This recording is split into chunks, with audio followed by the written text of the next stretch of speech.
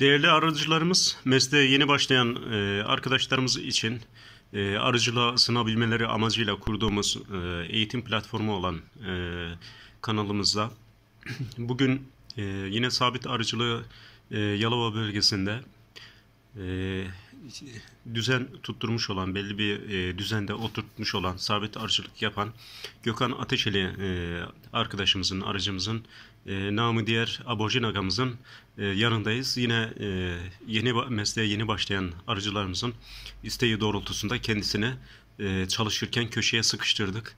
E, fayansların arasına e, kendisinden edinebildiğimiz kadar bilgilerimizi, bize faydalı olabilecek olan bilgilerimizi edineceğiz. E, kendisine özellikle e, bal kesiminden sonra sonbahara kadar neler yapıyor sabit arıcılık olarak e, özellikle varava mücadelesinde ve e, polen kıtlığı olduğu e, bir dönemde dönemden geçiyoruz. Son yıllarda özellikle sonbahar pürelerinin olmadığı polen kıtlığı olan bir dönemden geçiyoruz.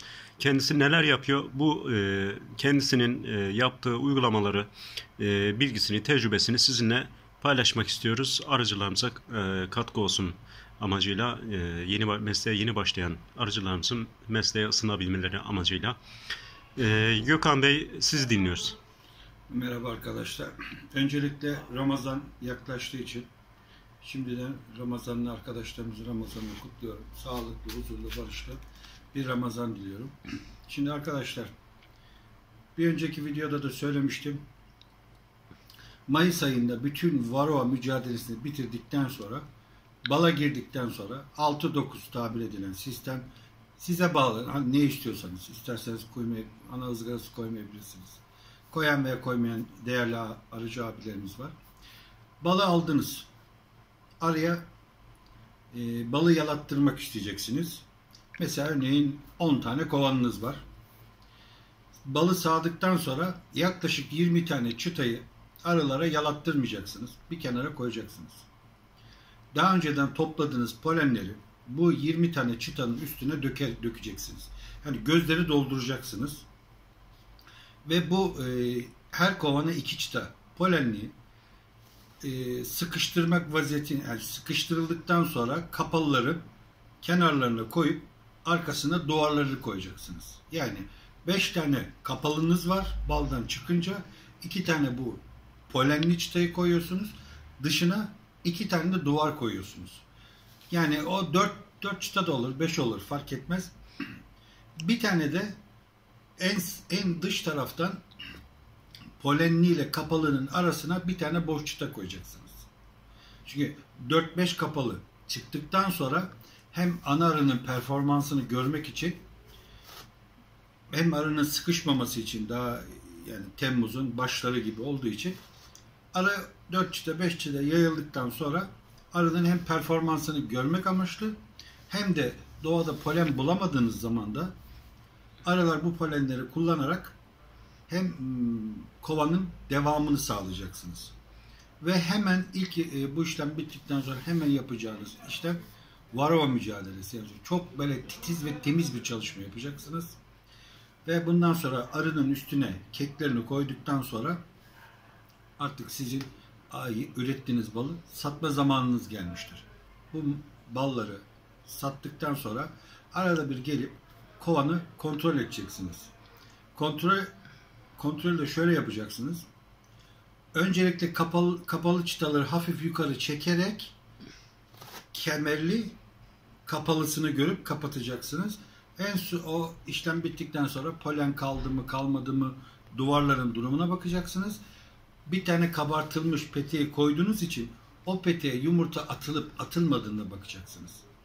Atıldıysa eğer bir boşluğunuz daha varsa bir tane daha kabartılmış atabilirsiniz. Yani 4 bir tane koydunuz 5 kapalı bir tane daha koyarsanız 6 olur. Bu şekilde arada onu da yaptıktan sonra artık diyebilirsiniz ki ya ben bu kovanı ikiye böleyim arkadaş. Dediğiniz anda 3 polenli duvarlı öbür kenarda polenli duvar yaptığı zaman bu kovandan iki kovan yapmış olursunuz ve kenara koyarsınız. Yeni anayı takarsınız. Bu şekilde de arı yoluna devam eder. Ama baktınız ki sizin meranız buna hiç müsaade etmedi. Hatta boş çıtaya bile ana arı hiçbir işlem yapmadı. Bu sefer ne yaparsınız? O artık koyarsınız veya koymazsınız artık siz bilirsiniz. Bu şekilde yoluna devam ederken Ağustos ayına doğru yani bir kere ciddi bir şekilde ritimli bir beslemeye başlayacaksınız. Ritim olarak. Her gün düzenli bir bardak, bir buçuk bardak arının gücüne göre devamlı bunu yaptıktan yaptıktan sonra arada böyle bakacaksınız ana arı diyecek ki artık ben yumurta atayım çünkü doğadaki doğaya benzeyen bir akım var. Verdiğiniz şerbeti kullanacak. Bu şekilde devam ettikten sonra bunu Kasım ayına kadar bu şekilde devam ettireceksiniz. Arı ilerliyorsa, devam ediyorsa bir çıta vereceksiniz. Bu şekilde devam ederken varo mücadelesi mutlaka yapacaksınız. Ve baktınız ki artık kovanınızda bir 6 çıta veya 5 çıta. Artık o size bağlı, doğaya bağlı, ana artık gücüne bağlı. Sağlık şekilleri, her neyse. Ve çıta başına 2,5 litre şerbet verecek şekilde Kasım ayında araya şerbetini vereceksiniz. Kemerine bakacaksınız, kapalısını göreceksiniz ve çıta başına 2,5 litre şerbet vereceksiniz ki nasıl Avrupa'da Almanya'da yapıyorlar 15 litre, 16 litre şerbet veriyorsa siz de çıta başına 2,5 litreyi vereceksiniz. Ama bakarsınız kemerler çok iyidir dersin ki gerek yok. 5 litre, 6 litre devam edebilir. O sizin ne, mesela püren vardır. Pürenden bir şeyler geliyorsa aralığınıza. Yani onu da vermeye gerek yok. Onu ayarlarsınız. Çok ciddi, en son çok ciddi bir varava mücadelesi yapacaksınız. Ondan sonra arıyı yavaş yavaş kışlamaya alacaksınız.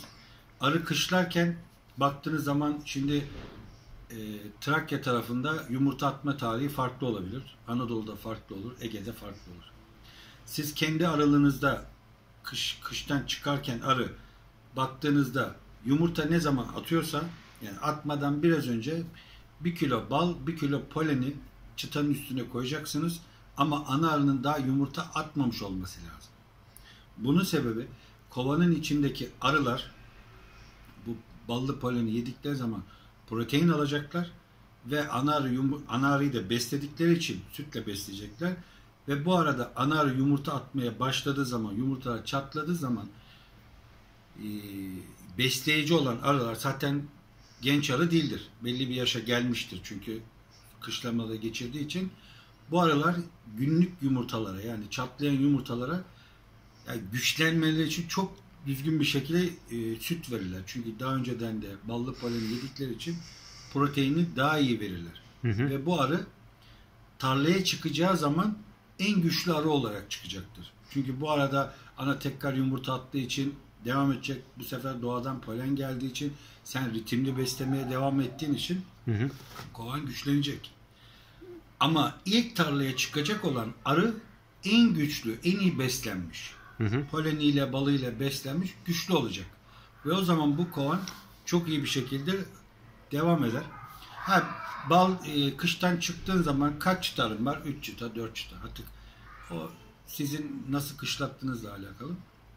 Bir arıyı hemen bir sıkıştırırsınız. Fazla çıtalarını alırsınız. Yumurta attırmak için. Yumurta attırmak hemen sıkıştırırsınız. Zaten büyük olasılıkla kışın o yumurta atmıştır. Mesela hı hı. siz ballı poleni koyduğunuz için, birebir koyduğunuz için evet. o ana mutlaka zaten bir protein vardır. O yumurta atar. Açtığınız zaman zaten bir avuç arıysa da bilirsiniz. Hı hı. Bir çıtarı varsa da bilirsiniz.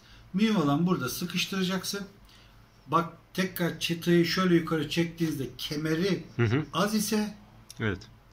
kapalısı bir avuç kadarsa hı hı. bu sefer siz iki şeker bir su bu şekilde verip araya kemerini oluşturtmaya çalışacaksınız. Hı hı. Eğer polen de geliyorsa o zaten kapalının etrafına arı, arı hemen polenleri dizer. Hı hı. Bu şekilde sabırlı bir şekilde ama arıyı kurcalamadan hava soğuksa bile yukarıdan böyle ne diyeyim buzdolabı poşu değil. Hı hı. Düzgün ama ritimli yapacaksınız. Devam ettikten sonra bir de şöyle söyleyeyim.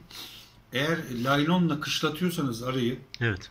Mesela ocağın onudur 15'idir bir şey diyemem ona e, yukarıdan çıtaların üstünü gördüğünüz için kapağı açtınız çıtaların üstünden laylonla çıtaları gördüğünüz zaman mesela çıtaların üstüne böyle hafif laylonun üstünden elinizi koyduğunuz zaman bir ısıyı hissediyorsanız evet. arı size diyor ki biz kuluçkayı açtık 29,5 derecelik bir ısı var artık beni besle.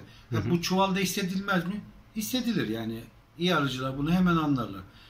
Kekiydi, Şerbetiyle birlikte arının 3 çıta olmasını sağlayacaksınız. Sıkışık bir şekilde gelecek. Arı artık böyle duvarı küçük küçük delmeye başlar. Hı hı. O yer. Yumurtasını atar, bir şey atar. Artık sana der ki ya biz artık güçlendik. Yani 3 çıt olması demek arının güçlü olduğu anlamına gelmiyor. Hı hı. 5 çıtaya kadar arı zayıftır. Ama o şekilde size diyecek ki artık dala katar, çıtaların üstüne mum örecektir. Çıtaların arasından baktığın zaman beyazlık göreceksiniz. Diyecek ki artık bize bir petek ver. Dedikleri zaman elinizde kal, geçen seneden kalmış petek varsa petek de verebilirsiniz. Hı hı. Ama benim tercihim bir tane temel petek koyduğunuz zaman da arıyanın ne kadar peteği ördüğünü Hı hı. anlayacaksınız. Yani üç çıta bir arı e, ne kadar petek örer? Yani bir ön yüzünün yarısından fazlasına mumunu örecektir. Size diyecek ki biz üç çıtayız, bizim gücümüz bu kadar. Hı. Siz de anlarsınız. Bakarsınız ana, ana yumurta attı veya atmadı. O çıtayı komple kabarttıktan sonra çitenin öbür tarafını çevirirsiniz. Araya dersiniz burayı da kabarttırırsın. Orayı da arı ördükten sonra yumurtasını atar. Her şeyini hazırladıktan sonra peteği kaldırırsın. Hı hı. Şöyle değil, şu şekilde baktığın zaman Hı hı. çıtanın petek delikleri sapsarı olması lazım. Sapsarı. Ve sağında solunda kenarlarında kahverengilik olmayacak. Eğer kahverengiliği görüyorsanız arı size şunu söylüyor. Ya iyiydi hoştu da işte gücümüz de yetmedi. Nektar da azdı. Sen de bize fazla bir şey yapamadın.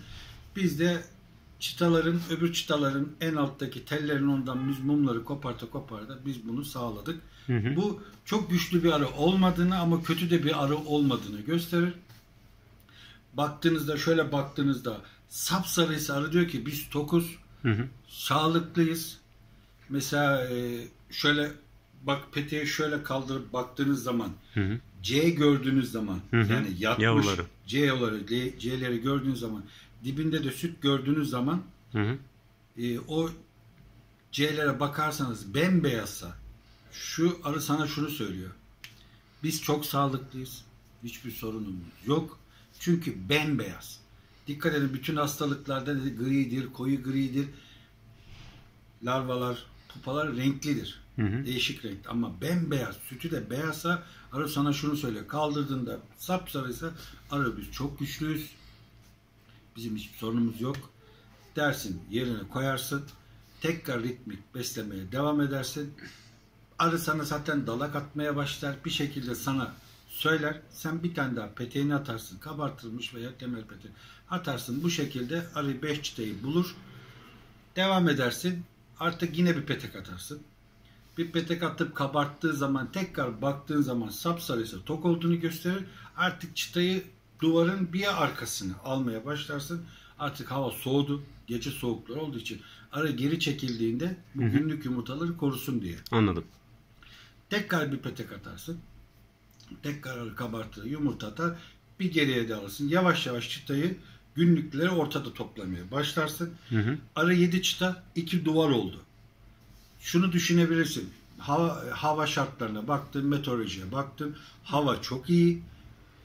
Diyebilirsin. Arada sıkışmış. Hı hı. Güzel olduğu zaman şunu diyebilirsin.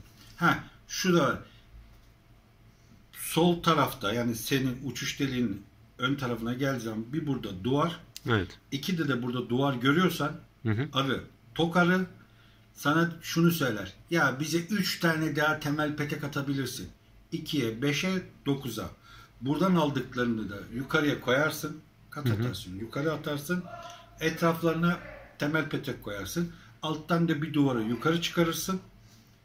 Arayı tam ortada kolon şeklinde topladıktan sonra kekini, şerbetini, her şeyini full bir şekilde ayarladıktan sonra aşağıdaki 3 çıtayı da kabartır. Yukarıdakiler de kabartılır. Yukarıda kabartılan günlüklü eğer ana yukarı çıkıp günlük yumurta attıysa Hı hı. yukarıdaki günlük yumurtaları aşağıya tam ortaya koyarsın. Yukarıya tekrar kapalıları çıkartırsın. Ee, köşelerden mesela 2-9 dediğimizde de onları Hı hı. kabarttığı için, yumurta attığı için onları da ortaya toplarsın. 5 de zaten ortada duruyordur. Ne olur aşağısı komple yumurtalı olmuş olur. Hı hı. Ne olur? Aşağıyı bitirmiş olursun. Dersin ki araya Artık ben senin ana yatağını hazırladım. Ben sana dokunmayacağım. Senin düzenin bu. Tekrar 2 2 9'a petek atabilirsin. Temel petek koyar kabartırsın. Eğer kahverengi petekleri de tekrar yukarı çıkarırken yukarıda, yukarıdan gözlerden çıkan arılara bir ikişer tane daha petek koyduğun zaman da yavaş yavaş Nisan'ın 15'ini bulmuş olursun. Yavaş yavaş arının varroa mücadelesini bitirip katını da atmış olursun. Üstüne Anladım. şerbetini koyarak ilaçlamayı tamamladıktan sonra karaçala başlar. Ama şayet güzel bir çiçek balı denk gelirsen, çiçeği de yakalayabilirsen katların sağına iki tane, soluna iki tane de ballı polenliği koyarsan Hı hı. bu senin Temmuz'da bal sağacağın zaman hiç olmazsa elinde bir dört petek balın olmuş olur. Hı hı. Kesten'den, I- ılamurdan, karaçaldan geldiğiyle birlikte bunu tamamlarsın. Aşağısı 8, yukarıda 6 olursa ikişer tane duvar, 8, 6 da 14. Hı hı. 4 tane de 3. kata attığın zaman olur az 18-19 tane çıtan olur. Ve en son işlem bittiği zaman mesela artık ana ızgarasını atmaya zaman geldiği zaman anarının bütün günlük yumurtaların hepsini aşağıya toplarsın. Hı hı. Zaten kapalının renklerinden artık arının ne zaman çıkacağını zaten bilirsin. Hı hı. Koyu renklileri en üste koyarsın. Hı. Hafif koyu renkliler altta kalarak da arının çıkışıyla birlikte arıyı bala sokarsın ve işlemini bitirirsin. Peki e, bir de genç arıcılarımızın, yeni başlayan arıcılarımızın yaptığı e, en büyük e, durumlardan bir tanesi yani yaptığı en büyük en e, sık yaptıkları uygulamalardan bir tanesi de bütün çerçeveleri alıp kontrol etmek tabi doğal olarak E, bu esnada da ana arıyı öldürmek yani sakatlamak öldürmek E, bu konuda Keşan'da Kanola'da Keşan'da Ahmet Aga'dan öğrendiğiniz bir ana arı öldürmeme yöntemi vardı. E, o konuda biraz bahsedebilir misiniz? Ya şimdi Ahmet Aga sağ olsun Ahmet Aga genelde tek katlıyla çalışan bir arıcıdır. Hı hı. Yani ayçiçeğine de tek katlı girer. Kanolaya da 3 çıta 4 çıtayla girir. Arıya 10 çıta yaptıktan sonra bu 10 çıta arıyı satar. Hı hı. Ahmet Aga'nın tekliği arısını satar. Kalanlarla birlikte ayçiçeğine girer. Bir kovanda da mesela e, sürekli bir besleme yapıp yaptıktan sonra oğul çıkmasını sağlar. Bu oğulları daldan toplar. Mesela daldadır ki o arı gelir hep o dala konar. Oradan alır böyle yani kendi oğuldan üretir. Ama ana arının şimdi memeye gittiğini Ahmet Aga anladığı zaman zaten onun formülleri vardı. O 30 senelik arıcıdır bilir. Kovanın uçuş tahtasının üstünde arıların Hı hı. kıpırdamıyorsa 10 olur, 5 arı olur, 20 arı olur. Arı hiç kıpırdamıyorsa ve kovana giriş çıkış yoksa Ahmet Aga şunu söyler. Aa, bu arı oğula gidiyor der. Onu hemen anlar o.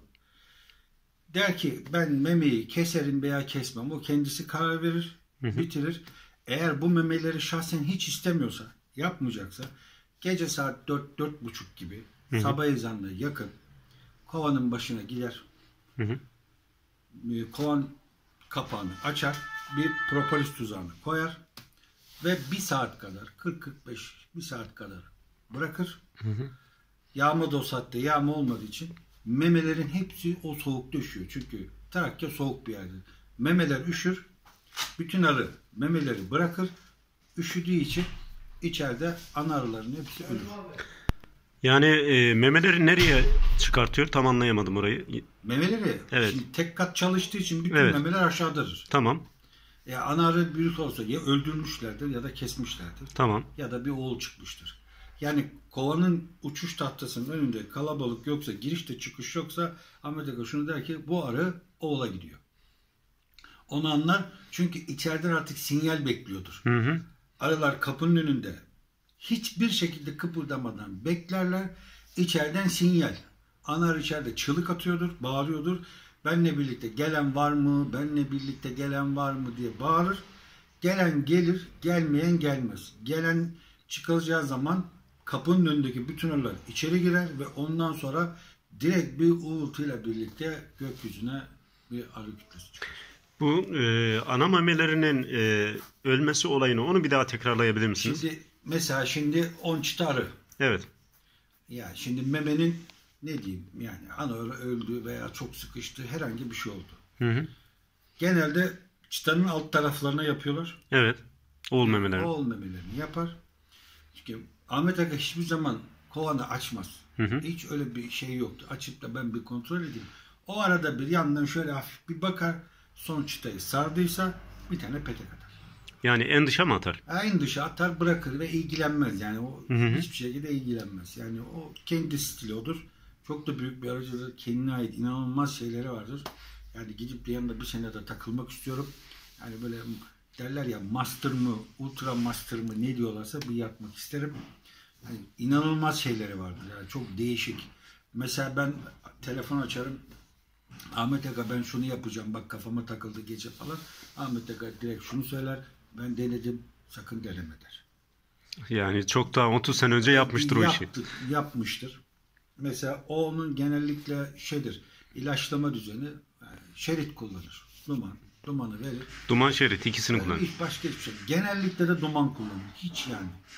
Başka hiçbir şey koymaz. Yani ya çok önemli bir müşterisi derse ben şunu istiyorum, bunu istiyorum. Ona göre yapmaz da yaptığını farz eder.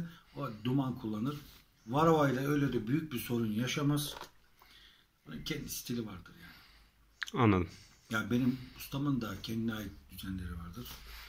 Yani her ustanın kendine ait. İnternette büyük aracılarda hepsinin kendine ait bir yöntemleri vardır. Kimi aracı vardır işte duvarın arkasında arıyı kabart, yumurtayı attırır, kabarttırır, ikiye koyar. Hı hı. Kimisi vardır kabarttırır, üçe koyar. Kimisi yerinde tutar. Yani bütün herkesin kendine ait bir şey. Ama bir geriye her zaman iyidir yani. Bir geri her zaman iyidir. Ama ikiye koyan, üçe koyan, isteyen beşe koyan. Ama arı evet, arı kendi işini kendi yapar. Ben Almanya'daki değerli arkadaşım şunu söyledi. Ya dedi aborjin dedi. Arıyı dedi hastalıklardan koru. Bunu öğren gerisi boş dedi. Arı 3-4 milyon yıldır ne yapıyordu dedi. Sen arıyı kurcalama dedi. Bırak dedi. Arı kendi istediğini yapar dedi. Sen de ona göre dedi. Petek vereceksen peteğini ver dedi. ilacını yap dedi. Arı kendi işini kendi görür dedi. Ama bu, kadar da kurcalamaya gerek yok dedi. Yani e, yeni aracılarımız e, ana arıyı öldürmemek e, için aynı zamanda koloni yönetimine e, petek vermeyi, ilaveyi devam ettirebilmeleri için e, ananın e, Son duvar, sondaki duvarın bir arkasına temel peteğini temel koyar, petek koyarak ilave kabartırır. ettirip devam Ondan ettirebilirler. sonra onu bir geriye koyar. Arı kabartacak gücü varsa tekrar duvarın bir arkasına koyar. Onu sonra tekrar bir arkaya. Bu şekilde devam eder. Arı güçlenince 2-9 yaparsın, 2-5-9 yaparsın. Daha sonra kata bu. Kata çıkar. Ya bu bir arının kemerlerini, gücü, gücü önemli. Balığıydı, poleniydi, bütün gücü olsun. Ha, havada, iklimde çok iyiyse ya istersen yukarıya günlük yumurta koy. Arı onu ısıtır. Hiçbir sorun yok. Yeter ki nektar sağlam olsun, düzgün gelsin. Sen iyi bak, var ya mücadele olursa hiç korkma. Ya şimdi 8 kapalı yaptın, yukarı kat attın, hava çok soğuk, korkuyorsun. Arıyı üşütürüm, üşütürüm. Ya millet Alaska'da arı kışlatıyor. Arı bakıyor. Kanada'da arı bakıyor. Ya üstte iki tane kabartılmış petek atarsın. Üstten çuvalla çok güzel sararsın. Dandik kat atma derler. Arı sıkıştıysa yukarı çıkar. Ya kimi insan vardır katı sağdan başlatır. Kimisi var soldan başlatır. Kimisi vardır ortadan başlatır.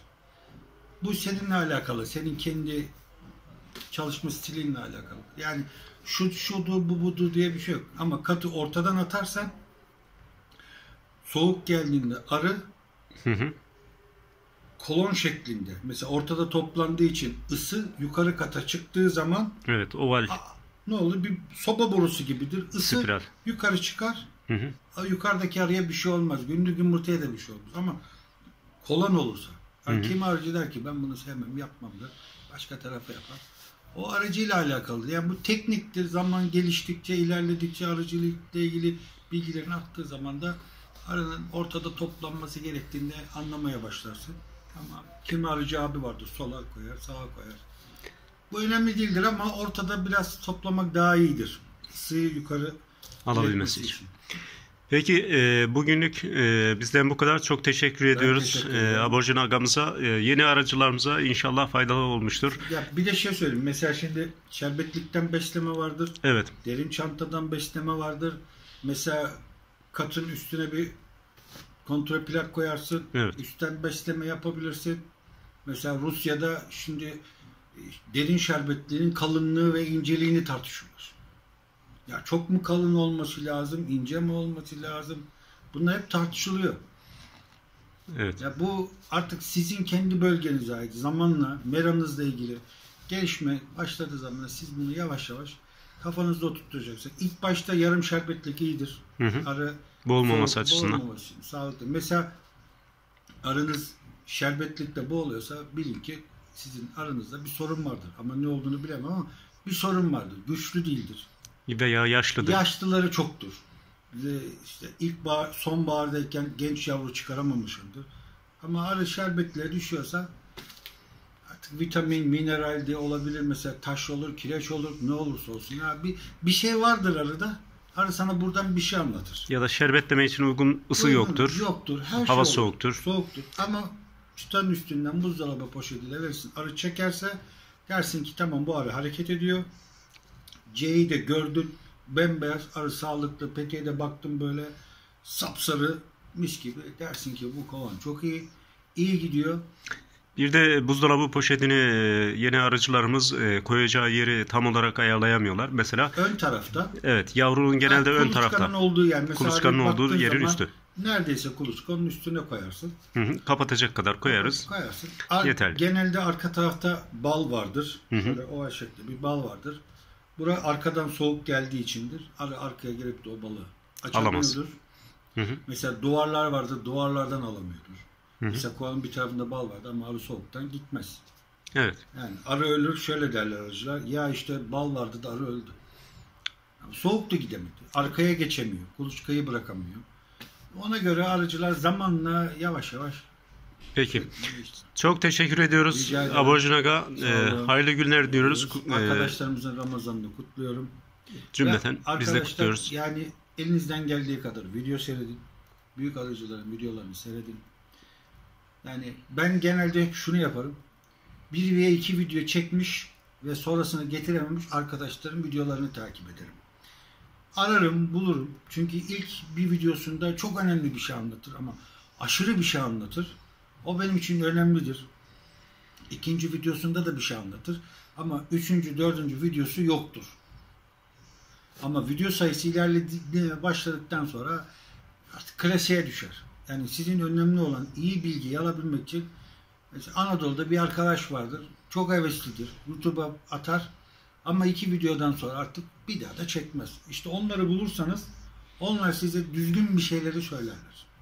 Yani ağzı yananlar çek- mı diyoruz onlara? Ha? Ağzı yananlar mı diyoruz? Ha, onun ağzı yaranır. Anlatmak istiyordur. Çünkü, ilk videosunda çok önemli bir şey anlatır. Ya onun için o kadar önemlidir ki o. Onu anlatır. Ama var büyük abilerimiz var. Acayip video çekerler. Devam eder. yani. Peki çok teşekkür ediyoruz Abojinaga'ya. Hayırlı günler diliyoruz arkadaşlara. Arkadaşların tekrar Ramazan'ını şimdiden kutluyorum. Sağlıklı, barış, huzurlu yıllar diliyorum. Tekrar görüşmek üzere. Bu arkadaş beni çok sıkıştırıyor. İşim gücüm var.